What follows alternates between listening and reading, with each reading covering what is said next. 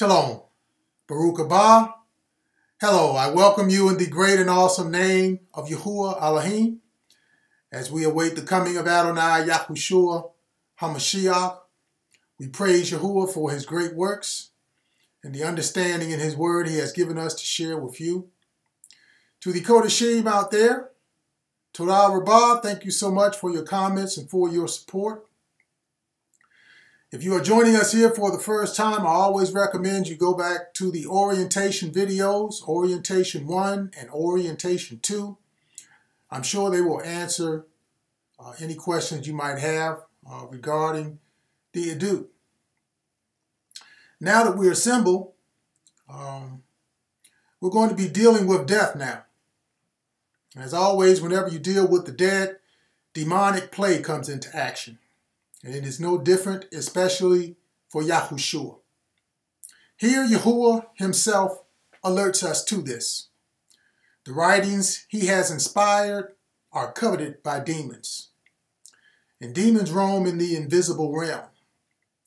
And after death, the body moves on to the next phase, to a realm that is very real and never seen by the physical world we live in. However, the beings that roam, that roam there at times have shown themselves through manifestation. They dwell in high places and influence the minds of people in ways we cannot see. But the fruit of their actions are clear. Demons lie about the word of Yahuwah. The evidence is they do not embrace the truth to restore it. So let's go to the account now and follow the body of Yahushua.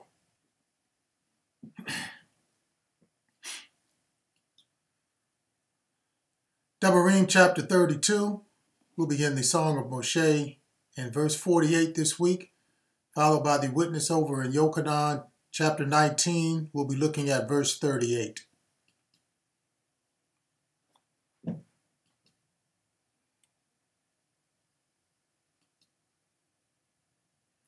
Then Yahuwah spoke to Moshe that very same day, saying, Go up this mountain of the Abarim, Mount Nebo. After this, Joseph of Ramah. The events going on now are events that flow according to what Yahuwah is saying up in Devarim. Everything that happens in Yochanan is happening after this, just as it is written or in the likeness of this. So we follow Yahushua's body from here. Then Yahuwah spoke to Moshe. Moshe, his name means drawn, so down in Yochanan, the one drawn is Joseph. So Yahuwah here is speaking to Joseph. And he spoke to him that very same day that the flaming sword came to claim the soul of Yahushua. This word Yosef is of Hebrew origin. H3130 means Yahuwah has added. This is now the corresponding reference to the great name of Yahuwah in the survey line. Yahushua having given up his speaking in the prior video. And this is fitting as Joseph is now added to walk us through what is happening with the body of Yahushua. It is likened to a mountain because of the greatness of what is going to be done there. It is going to be exalted to be worshiped. People go to high places to worship, and the mountain is symbolic of that. Yahuwah says, Go up this mountain, this high place of the Abarim. H5682 means regions beyond. In other words, regions beyond earthly understanding. This is a behind the scenes look at stuff people don't know regarding this account in world history. Some good news we didn't get from Christianity. Now, according to the definition, this is describing a range of mountains on the east of the Yarden in the land of Moab, opposite Jericho, Mount Nebo.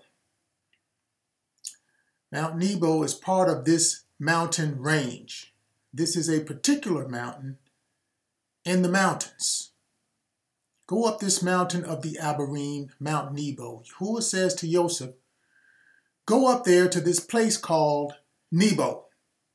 H5015 is a prophet, a Nabi, a Babylonian deity. This is a demon who presided over learning and letters. It corresponds to the Greek mythological character known as Hermes and the Latin one called Mercury. Also the one in Mitzrayim called Thoth. The thing Moshe and Yahushua have in common here is they are both Nebaim.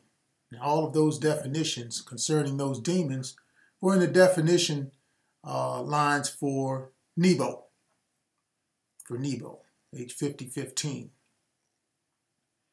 So, um, Yahushua and Moshe, they are both Nebaim, prophets, presiding over scripture. One has written what the other has fulfilled. Moshe wrote what Yahushua has fulfilled. Mount Nebo can be seen in the place where Joseph is from in the survey line on the screen. It is likened to the definition of Mount Nebo, or as it reads in the survey line, after this. The place he is from is named after this. Ramah, H7414, is a proper locative noun. A hill, the heights. This is a high place, a mountain. It is also used as a place of illicit worship, something forbidden by laws, rules, or customs. The verb means to be lofty, exalted. It means to be lifted up, to exalt oneself, to magnify oneself. This is pride, breaking all the rules of laws and customs. Like the names of those demons the nations have conjured up in mythology. They are real and found in the definition, as I mentioned, for Nebo. They are offspring of that demon from Babel called Nebo. They are demons influencing men presiding over learning and letters. Ramah is the result of what demons presiding over letters and learning cause people to do, and that is illicit worship or as it reads after this. In other words, this is the fruit of it. And all of the following verses for this survey is likened after this account written by Moshe in Devarim. So illegal worship is going on here, or will go on. So Joseph is from this type of place. This does not mean that Joseph was evil. Throughout the scripture of truth, demons have played a role. Whenever you're dealing with the truth as it relates to scripture, there is always going to be a demonic adversary. These are supernatural beings that dwell in high places to prevent the truth given by Yahuwah Elohim for salvation from spreading. Demons, you will find them on mountains, churches, mosques, and synagogues, high places that govern scriptures. This mountain that Yahuwah is sending um, Moshe is warning us of that. So we are to beware because he used Moshe to give us the scripture of truth. So the warning here is demons exist and their game, their game plan is to destroy the works of Yahuwah for salvation. So we're going up to the high places now where demons both dwell and plan to thwart everything Yahuwah is doing with Moshe. Yahuwah knows this and sends him up there anyway. Because the truth given on earth will be exalted in the face of opposition.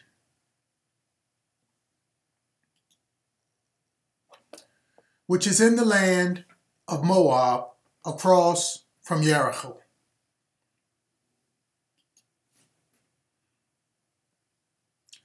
Being a taught one of Yahushua, but secretly for fear of the Utah, which is in the land of Moab. Moab means their ancestors. The learning and the letters the demons are presiding over is obviously the scripture of truth Yahuwah gave to Moshe, because Joseph was a taught one of Yahushua, a Lamud. And all of his teachings were based on and found in those scriptures of truth. Yahushua came to fulfill all that Moshe wrote about. So Joseph was in the land of their ancestors. This is all set up according to the words after this from the top survey line, the likeness of what is written by Moshe. Across from Jericho, meaning its moon, things done in the moonlight are usually things done in secret, not much light. Deeds done in the dark, after this. Over in Yochanan, it reads, but secretly, for fear of the Utah. Joseph was a taught one by night, secretly. He was not seen with Yahushua openly during the day. Also, as Jericho means its moon, so the Utah are seen as the it in its moon. This is where the demon is presiding with the Utah, the Jews, and whoever else was here throughout the course of history. Also notice for the written account here on the screen, as Jericho means its moon, the moon regulates the followers of Yahuwah. They follow a lunar calendar in order to worship at the time appointed in the scripture of truth. Everybody in this line to survey was doing that. The taught one, Yahushua, and the Utah. Joseph was in the land of Moab. This is the taught one of Yahushua here, in, here on the screen. They are across from the Utah, see it there on the screen, out of fear. Across from Jericho, he was not following the same moon as the Utah. Yahushua was leading him somewhere else according to the truth found in the scripture. He was taught differently. If you're going to have success dealing with the Jews in the political world regarding the truth of anything, you're going to have to do it secretly. Can't really convince them of the truth because they will threaten to take everything you got. Just as Whoopi Goldberg, Nick Cannon, and every other person in a position of influence speak out against what they're doing, especially those doing those things that are wrong, you need to do it secretly because the fear is you're taking a big risk. now, the Jews to this day have not followed the moon to determine the appointed times to worship Yahuwah. This is called illicit worship. So do not follow their calendar. Y'all need to check behind these people. Yahuwah has gone to great extent just to have the scripture written so that he can bring the things written to pass. He's going to do that whether you're paying attention or not. Better to pay attention. This way, everyone can have confidence to worship him because of the prophecies that come to pass. It is clear that he is to be worshiped. And it is also clear that there have been some lies taught to people centered around what is needed for everlasting life. And if you think for one minute this does not affect you, then you have lived your entire life in vain. and destined for the pit. For those of you who do care to find out the appointed times, you can go to the Farmer's Almanac to find a lunar calendar that shows the phases of the moon cycle for each month of the year. We covered this in the first witness of a star. Compare your finding with theirs. This way you find out the truth. The same moon they have over in Israel is the same one we have over here. Same one. The same one that governs the whole world. There is only one. They have not created another moon. Neither can they alter the course of the one Elohim created. People who make up these lies design them to make fools out of you. And those who promote and follow that type of lie concerning the moon embrace it because it gives them a reason not to follow the commands that come with the appointed times. Saying it cannot be known for certain. That's what they say. They use that as an excuse not to even try to obey what Yahuwah has established. That's because they want to do their own thing. Then they confuse you with lies using conspiracy theories, using educated religious people who teach sophisticated lies, not even found in the scripture. And because of paying attention to the wrong thing, which is what they lead you to do, that is why many people cannot discern the times. There's only one spiritual truth, and it is written in the Adut. It's always been there. Because if they do not speak according to what is being shown here, it is because there never was and is no truth in them. So when you find the truth, stick with it. Stay away from every wind of doctrine. It doesn't make sense, it's a lie. It's Yericho, their moon, the thing that regulates them.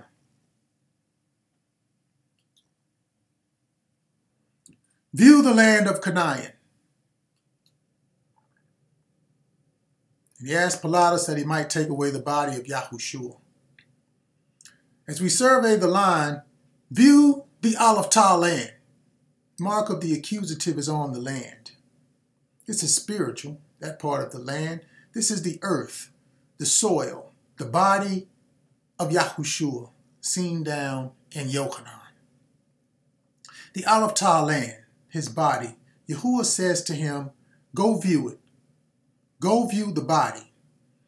It was the land of Canaan. That's where it was. H3667 means lowland. Canaan. He was lifeless. The verb means humbled, subdued, and brought down.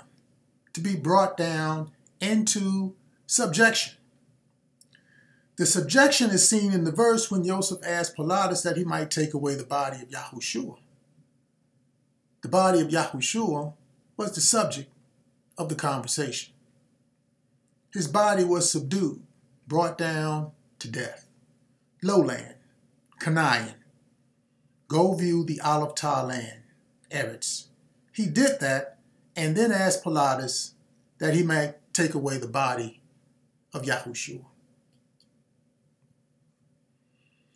which I give to Bnei Yisrael as a possession. And Pilatus gave him permission. So he came and took the body of Yahushua. Yahuwah is seen as I. So over in Yochanan, both Joseph seen as him and he, and this line to survey, along with Yahushua, are both representing the name of Yahuwah. Both names are of Hebrew origin, so together they represent B'nai Yisrael. Yahuwah is giving Joseph the body of Yahushua, which was in the possession of Pilatus, who is Latin.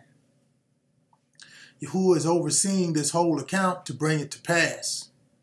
You see it in the survey line. Also, this recall from prior verses, I, even I am he.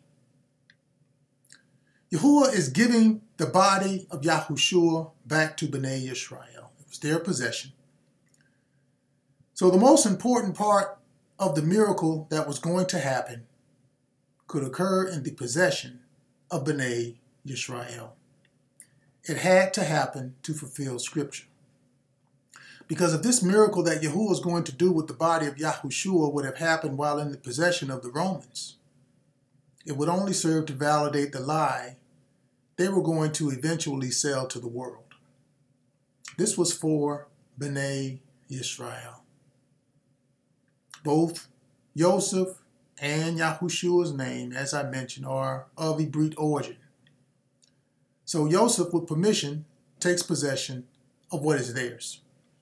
And Joseph is foretold to do this in several prophecies about him, most notably the one given by Yaakov in Bereshit chapter 49, and in Shemot. Shemot. Here Joseph is coming to get his bones, to carry them with him, to fulfill the scripture that reads in Bereshit. I'm going to read chapter 50, verse 25. You don't have to turn there. I'm just going to read it. Read it. It reads, Then Joseph took an oath from the Aleph B'nai Yisrael. These are believers at a later time in history, as well as that current time, saying, Elohim will surely visit you, and you shall carry up my Aleph bones from here. Mark of the accusative is on his bones as well. At Asamoti. And this they did. This they did. Being recorded in Shemot chapter 13, verse 9. I'm just going to read that one too. Shemot chapter 13, verse 19, excuse me, reads, And Moshe took the Aleph bones of Joseph with him. For he had placed the Aleph B'nai Yisrael under a solemn oath, saying, Elohim will surely visit you, and you shall carry up my bones from here with you. So Elohim is visiting them right now. And they are seen in the survey lines gathered around the body of Yahushua, going up to mountains, high places to perform the final act of the prophecy here on earth, so that it may be fulfilled for the written account. Moshe is doing this in the song as it lines up beautifully with the account in Yochanan. The final act of this event is for those who follow the Aleph Tah, for those who follow the Aleph Tah. When we go to stand in the presence of Yahuwah for this witness, these bones are going to come up for your testimony. So carry them with you. Amen.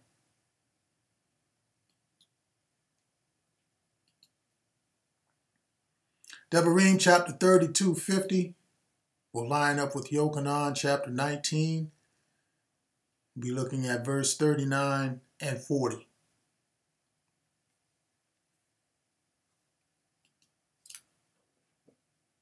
And die on the mountain which you ascend, and be gathered to your people.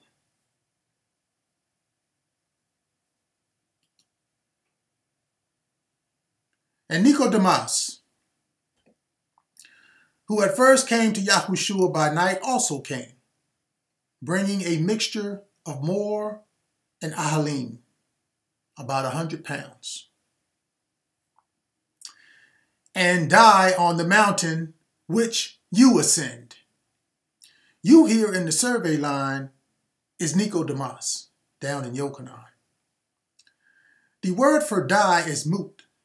H4191 means to die, to kill, to have one executed. All of this is going to happen in these verses. To die, according to the dictionary definition, means to stop living. The word Nicodemus is only found in the witness of Yochanan. It is listed five times in all of Scripture. And this is the fifth and last time you will see his name any further in the account. It is dying right here. Even Yahushua has stopped living at this point. Now, the word kill has two definitions in the dictionary. The second definition for kill means to put an end to or cause the failure or defeat of something. This is also a killing going on here. That part of the definition for mut, that means to kill. To put to death by dispatch, meaning to deal with and send off to a destination for a purpose. So there's a purpose going on here. The purpose is so the meaning of his name, not the name itself, would be dispatched to the greatness of what Yahuwah was going to accomplish with the body of Yahushua. We will get to the meaning of his name shortly. Notice Nicodemus is seen in the verse down in Yochanan ascending. He first came to Yahushua by night. Then it says, he also came. This is ascending. He came twice. The word is written two times. He ascended. H5927 means to go up, meet, and visit. Yahushua is seen as the mountain in the verse. This is the high place where supernatural and spiritual things are both spoken about and done the place where all these people are meeting. Moshe, Yosef, and now Nicodemus. Nicodemus is now ascending on it. Yahuwah is going to do something, and he is using all three for the written account to demonstrate the power of his written word by preparing the body of Yahushua. The mountain that Nico Nicodemus was to die on it was the body of Yahushua. The meaning of his name characterizes the ultimate victory that Yahushua will possess, was dispatched. As a conqueror of the people, meaning Yahushua will overcome and take control of, of uh, the people, or take control of something. So Yahuwah sends Joseph to get the body, but he sends Nicodemus to die, to deal with something regarding dying, which is the reason for the special fragrances, so that Yahushua can have the victory that is found in the meaning of his name. We notice these names are carefully chosen to do specific things in high places, symbolizing the greatness of the miraculous comeback by Yahushua that Yahuwah is about to perform. It is recognized by the more and ahalim. These are fragrances. The more, the Greek word there that uh, that was there is of Hebrew origin, and it takes you to H 4753, which is more. I have it here on the screen. It's an Hebrew word. It is part of the ingredients used to make a liquid fragrance instructed by Yahuwah to make the Kodesh anointing oil found in Shemot, chapter 30, verse 23. That's Exodus. It was costly and used to anoint uh, everything from the Achel of meeting and the Aron, where the testimony was kept, to the lampstand and the base of the Mitzbeah, everything. And the Ahalim is first used in the prophecy concerning Bilam ben Beor, when Balak asked him to curse Yisrael. Instead, he gave a Barech, and it is found in Bemidbar, Numbers chapter 24, verse 6. You can go back and read it later. I'm just going to bring the reference regarding these fragrances, particularly, particularly uh, the ahalim. What we're talking about here. This is something that is planted by Yahuwah. The prophecy reads, The utterance of him who hears the words of Al, who sees the vision of Shaddai, who falls down with eyes wide open. How lovely are your tents, Yaakov, your dwellings, Yisrael, like valleys that stretch out, like gardens by the riverside, like Ahalim, planted by Yahuwah, like cedars beside the waters. He shall pour water from his buckets, and his seed shall be in many waters. His king shall be higher than Agag, and his kingdom shall be exalted. Al brings him out of Mitzrayim. He has strength like a wild ox. He shall consume the nations, his enemies. He shall break their bones and pierce them with his arrows. Payback. He bows down, he lies down as a lion. And as a lion, who shall arouse him? Baruch is he who breaks you, and cursed is he who curses you. With these mixtures, all of this is added to the mountain, which is the body of Yahushua. That prophecy is being fulfilled. Yahuwah is going to add life to the body of Yahushua, giving him the victory over death and the grave. This is how he will conquer the people. This is added to Joseph, whose name means Yahuwah has added, and now we are shown here for the written, the written account. What else is added? Nicodemus, who at first came to Yahushua by night, also came, as it reads. So he was added.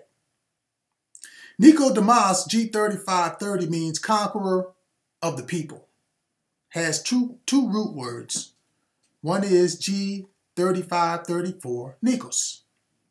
Nikos means victory, to utterly vanquish. The word Nikos, this is best understood and where it is used. Of the four times it is used, three are found in 1 Corinthians. And they all have reference to the miracle that will be performed on the body of Yahushua. And I'm going to read um, the three and First Corinthians chapter 15, verse 54 through 58. You don't have to turn there, I'm just going to read it. But I'm going to have to read all of what Shaul spoke in those verses for context. He says, Behold, I tell you a mystery. We shall not all sleep, but we shall all be changed in a moment, in the twinkling of an eye, at the last trumpet. For the trumpet will sound, and the dead will be raised incorruptible, and we shall be changed. For this corruptible must put on incorruption, and this mortal must put on immortality. So when this corruptible has put on incorruption, and this mortal has put on immortality, then shall be brought to pass the saying that is written, Death is swallowed up in victory. Nikos. O death, where is your sting? O Sheol, where is your victory? Nikos. The sting of death is sin, and the strength of sin is the law. But thanks be to Yahuwah who gives us the victory Nikos. Through our Adonai Yahushua HaMashiach.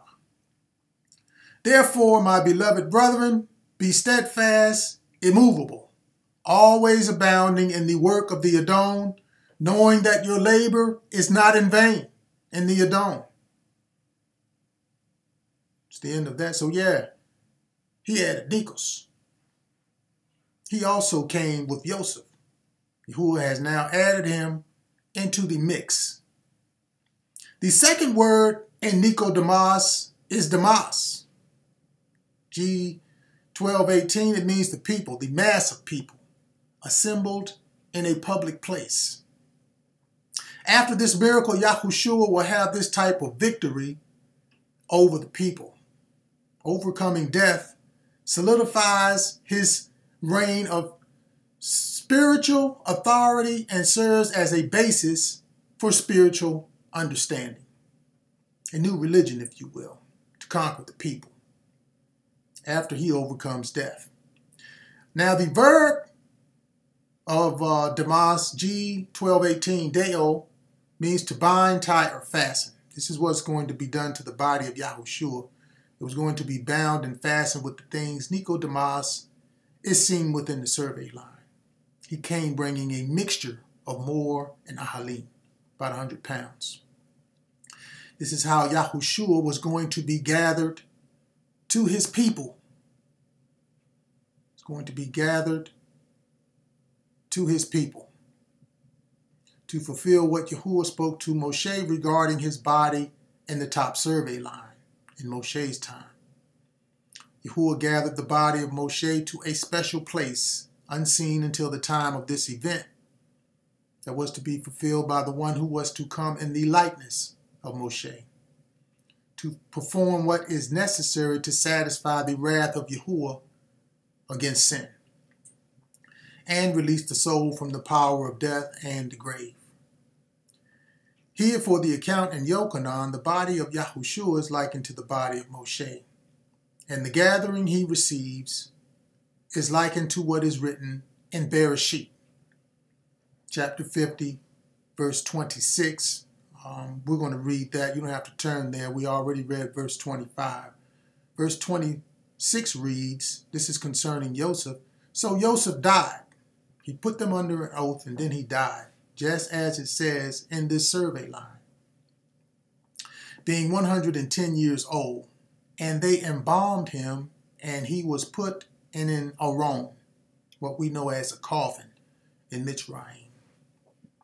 The embalming consisted of a mixture of more and ahalim, about 100 pounds. This is added to the body as a preservative, wrapped up with it. Yahuwah has added. Nicodemus, who first came to Yahushua by night, we're going to look at this word here. Night G3571 is nukes. Nukes means night. It is used metaphorically as the time of death.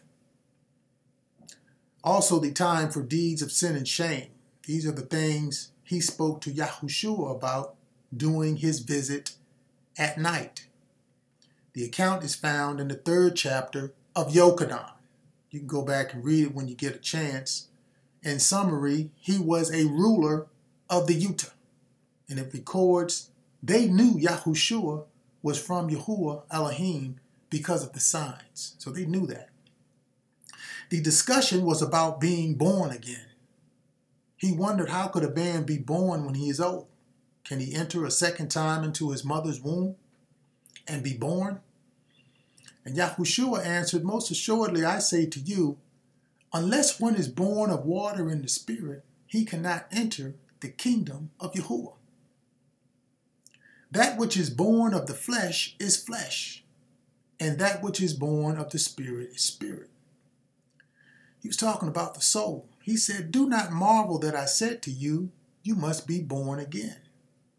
In short, you're not going to have to worry about that part. The birth here on this earth is going to be the same as it's been from the beginning of time. What he did not understand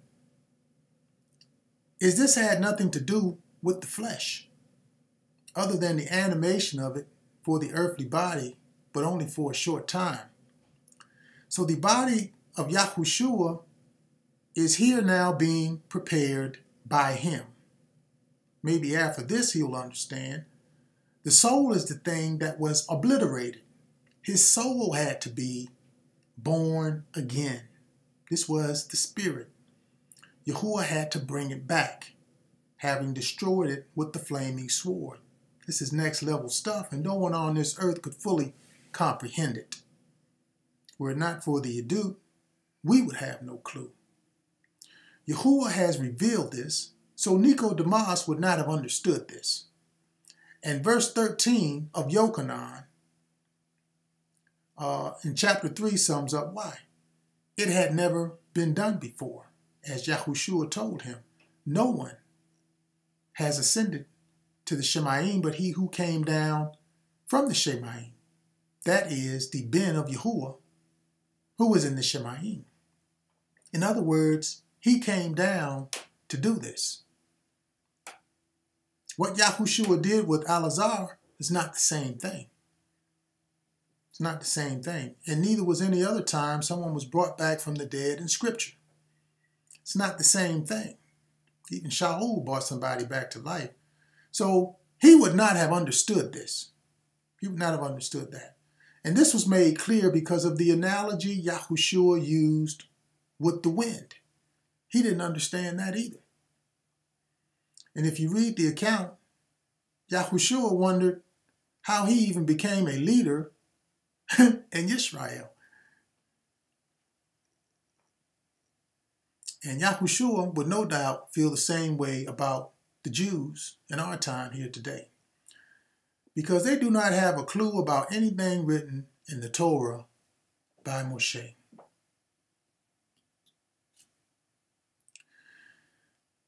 As we continue, just as Aharon, your brother, died on Mount Har and was gathered to his people. Then they took the body of Yahushua and bound it in strips of linen with the spices, as the custom of the Utah is to bury. This is another likeness that the body of Yahushua receives. It was just as Aharon, the brother of Moshe, received. Aharon, the light bringer, the brother of Moshe, died in a high place on Mount Har. Mm-hmm. It's high place, something done to now be exalted, made mention of, regarding the body of Yahushua here in the written account. This occurrence is, is found in Bemidbar, Numbers chapter 20, verse 25 through 28. Okay. We have to go there to find out this likeness. I'm going to put this one on the screen.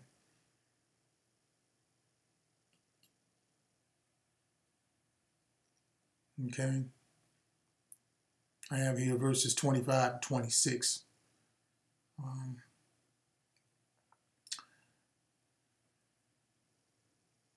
it reads, Take Aharon and Alazar his Ben and bring them up to Mount Har. And strip the Aleph Tah Aharon of his Aleph Tah garments. Strip the olive, strip the Aleph Tah of his garments. And put them on Alazar has been. The mark of the accusative is on Alazar.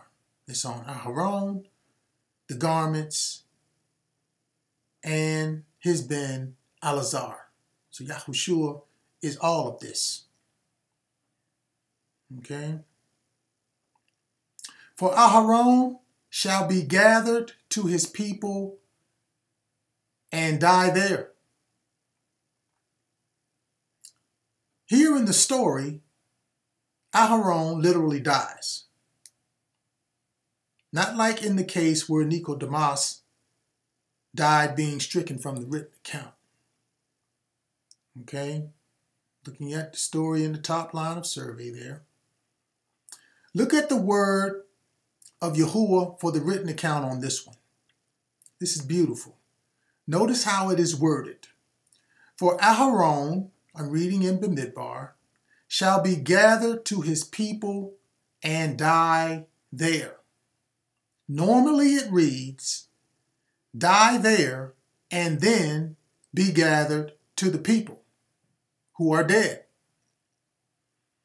As it was worded for Moshe. You see it in the top line of survey.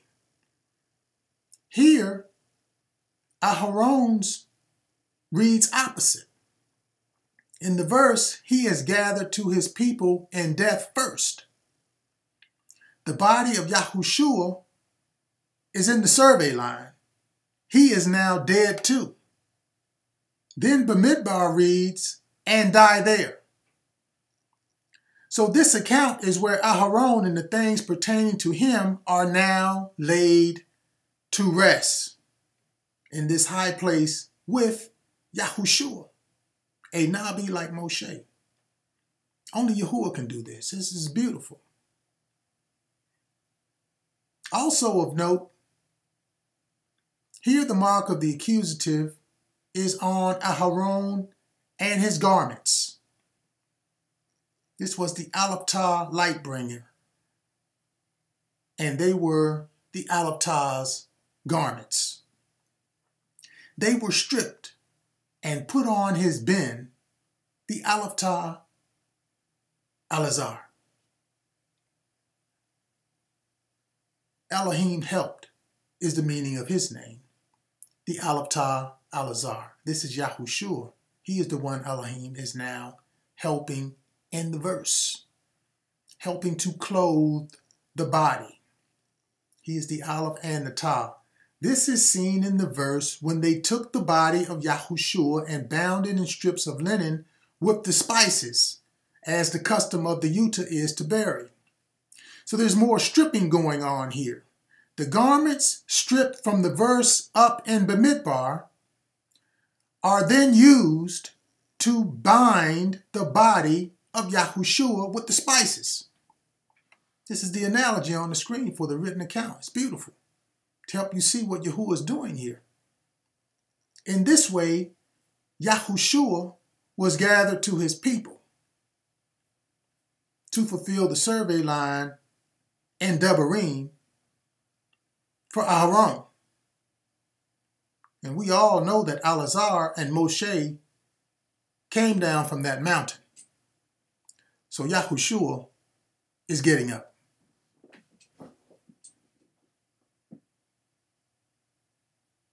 Amen. And we know he did get up. There's much more going on in the verses that can be gleaned from all of this. And there's no way to gather it all in one setting. But the boundaries of the field have been set and the lines are clear. So feed on what is given and strengthen yourself. And then share it with your friends, for the time is near. Shabbat Shalom, Mishpach. Leitro. See you later.